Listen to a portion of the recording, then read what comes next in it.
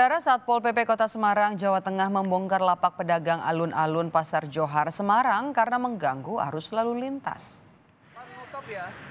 Puluhan pedagang kaki lima yang masih bertahan di alun-alun Pasar Johar Semarang ditertibkan Satpol PP Kota Semarang karena mengganggu arus lalu lintas ataupun warga yang hendak melintas di trotoar kawasan Johar Semarang. Satpol PP mengingatkan pedagang untuk segera membongkar lapak dagangannya. Pasalnya, jika tidak dilakukan pembongkaran, petugas akan mengangkut semua barang dagangan dan lapak yang masih berdiri pada Jumat ini.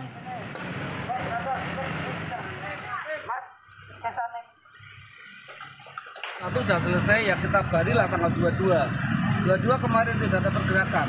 Masih taktik-taktik. Sehingga kami turun ini yang tanggal 23 akan kami bersihkan semua. Ini kami baru memberi peringatan. Kami bantu bongkar, tapi besok kalau masih ada kami angkut barangnya.